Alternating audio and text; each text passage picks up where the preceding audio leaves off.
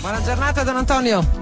Ciao ciao, ieri un ragazzo mi ha mandato una mail che mi ha distrutto e mi dice caro Antonio, voglio chiacchierare, voglio dire che amo i giovani ed è quella frase che mi ha colpito e che vi, che vi mando così come una botta, uno pugno sullo stomaco. Noi giovani ci sediamo sempre dalla parte del torto, visto che tutti gli altri posti sono sempre occupati.